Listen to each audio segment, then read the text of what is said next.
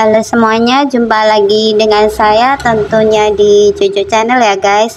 Di video kali ini saya akan mengajak kalian, saya sudah menyiapkan bungkus kaldu bubuk merek apa aja dan odol juga merek apa aja ya. Bagaimana hasilnya? Ikutin saya terus ya. Langkah pertama, ini saya sudah menyiapkan bungkus kaldu bubuk.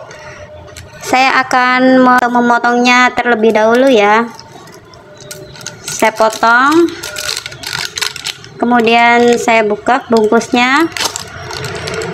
Setelah saya potong dan saya buka saya akan membersihkan terlebih dahulu ya. Setelah bungkusnya sudah saya bersihkan kemudian saya sisihkan terlebih dahulu di sini saya menyiapkan sebuah panci, panci yang sudah lama nggak dipakai ya, karena ini sudah bocor jadi tidak bisa dipakai. Ini kelihatan ya bocornya.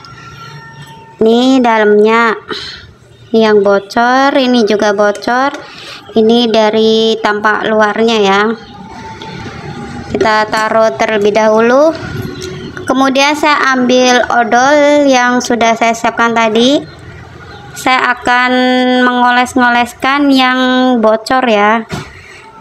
Jangan terlalu banyak dikit-dikit aja atau tipis-tipis saja ini saya oleskan di luarnya dan di dalamnya ya.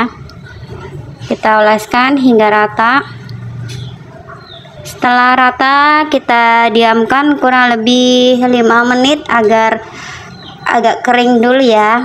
Setelah saya diamkan selama 5 menit hasilnya seperti ini agak udah agak kering ya guys.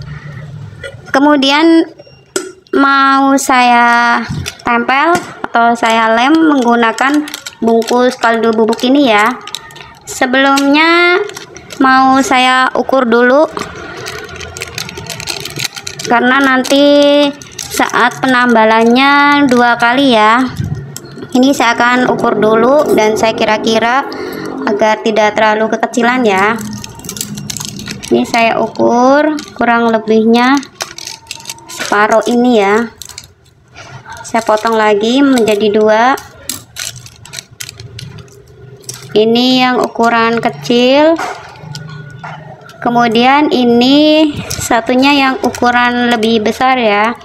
Diusahakan dua ukuran ini ukurannya berbeda-beda ya. Jangan disamakan. Nanti agar tambah lengket dan agar tidak bocor lagi ya.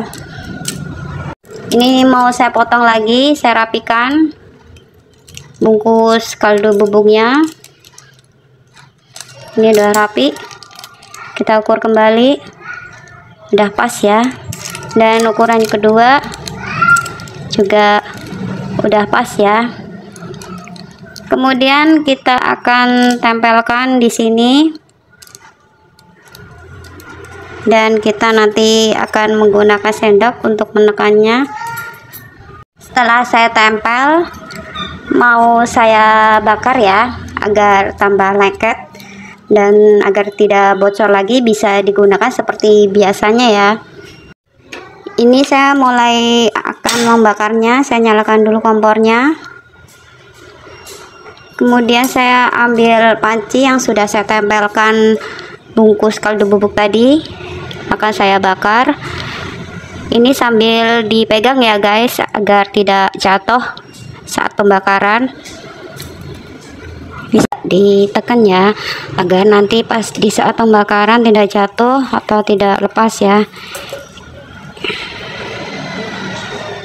Sambil kita tekan-tekan agar melek lengket sempurna dan agar lubang yang bocor itu tertutup dengan rapat ya. Kita sampai tekan-tekan kita bakar lagi kita tekan kembali. Ini lapisan pertama ya. Kita akan melapisi untuk lapisan kedua. Dengan ukuran yang berbeda lebih besar dari ukuran sebelumnya ya guys. Kita paskan dulu. Kita tempelkan sambil dipaskan. Aduh panas ini udah pas. Kita mulai pembakaran ya. Sebelumnya kita nyalakan kompornya terlebih dahulu. Kita nyalakan kompornya dengan api sedang ya. Setelah kompornya nyala kita ambil panci yang tadi bocor sambil kita pegang. Bungkusnya agar tidak jatuh di saat tar. nah kita mulai pembakaran. Saya sambil pegang di saat pembakaran sambil saya tekan-tekan agar lengket sempurna ya. Dipastikan lubangnya jangan sampai nggak ketutup ya. Kita tambal kita bakar dengan rata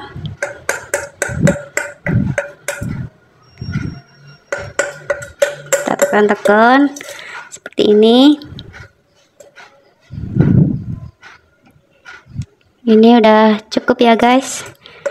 Udah tertambal udah ketutup dengan sempurna ya.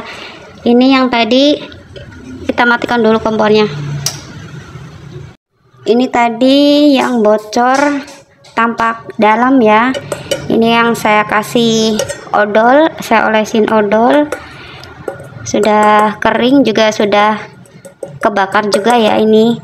Dan ini yang tampak luar yang saya sudah tem tempel atau tambal menggunakan odol. Saya juga menggunakan bungkus kaldu bubuk tadi ya dengan dua penambalan.